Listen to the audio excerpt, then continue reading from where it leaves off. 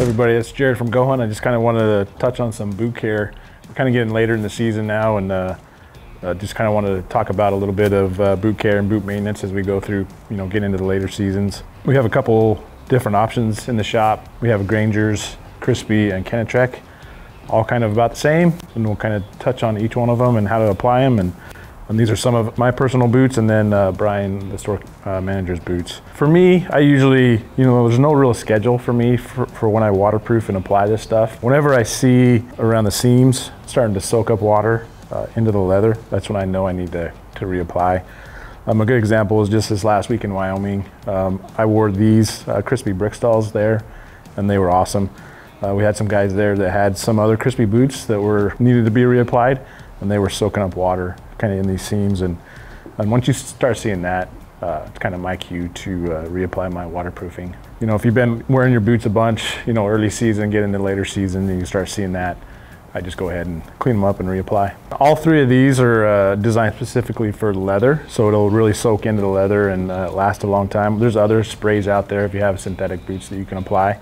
Uh, but these three in particular are meant for, for these leather type boots. Um, and they, like I said before, they really soak in. Um, I'll show you on this, on this boot here, you can see down here where it's applied and up here where it's not applied, uh, and it's a different color. Um, and a lot for these boots too, uh, make sure to clean them. Like uh, these were just used and you can kind of see they're, they're a little bit dirty. I'd probably clean them up a little bit better than that to, uh, to apply them, but I'll go ahead and apply it later. Like up here, it's pretty clean and I can apply it there and it should be good. But I would, you know, clean them up. There's some blood left on that boot. Um, so I'd clean that up really well. Um, I did the same thing to these. It's kind of the same leather. You can see uh, the difference in them. The spray, uh, a lot of time you have to keep your boots dry, or wet, sorry. So you have to wet your boots and then apply the spray and then it dries all together. But for this, these waxes, uh, you gotta clean and dry your boots first before you apply it. This is the one I used on both of these boots. And uh, you can kind of see where there's some wax left over in the creases, that's totally okay.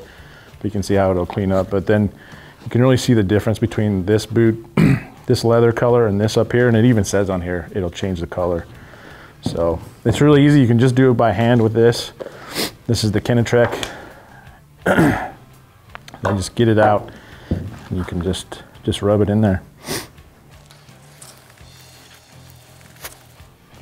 I'm not too worried about getting it in the holes or anywhere else. Like it's it's just some some boot wax, some. So it, I'm not too worried about getting it on. I've gotten it over here. So it's that easy to, to apply it.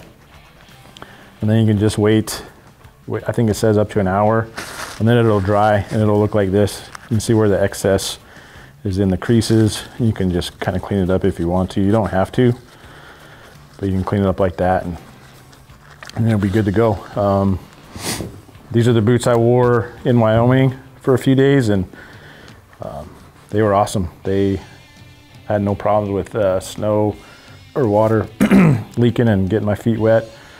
And uh, yeah, they did great. They recommend waiting an hour before, uh, before you know, going out and getting them wet. Especially for this, it has to dry. So it's, it's still kind of wet and tacky right there. So you just gotta let that wax dry a little bit and then you'll be, you'll be all good to go. So these are my Kenetrek boots. I'm wearing the, or using the Kenetrek wax.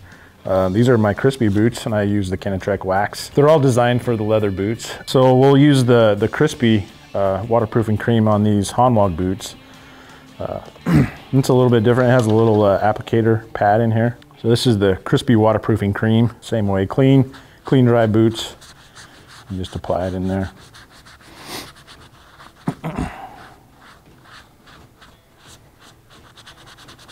Just want to get it on all the, try and get it on all the nooks and crannies, especially up against that rand and then in the seams of the boots is where you're going to get leaks. So try and get in there really good, get those seams really uh, saturated with that cream and then you'll be all good.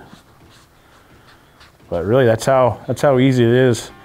You know, do it every, every time you see your, your seam starting to soak up some water or you have any issues with that, I would just stop, you know, between maybe between hunting trips, you just clean your boots, reapply that waterproofing cream and you have no, no worries.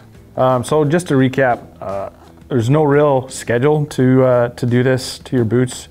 just anytime you're having any issues or seeing your leather soaking up any water, I would I would clean them, let them dry thoroughly, and then and then reapply any of any of these waxes, and you'll be good to go. If you have any questions about boots, waterproofing, or any other issues, uh, you can just reach out to us, you know, through uh, customer service or uh, the email address. So.